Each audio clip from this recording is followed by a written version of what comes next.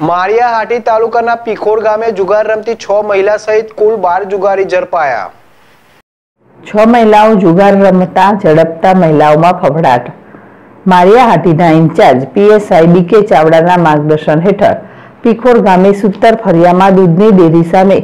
જાહેરમાં હાર જીતનો જુગાર રમતા ધીરજ લક્ષ્મીદાસ ભાડચા અંબાવી નારસી ગોડાસરા, વલ્લભ નરસિંહ ગોડાસરા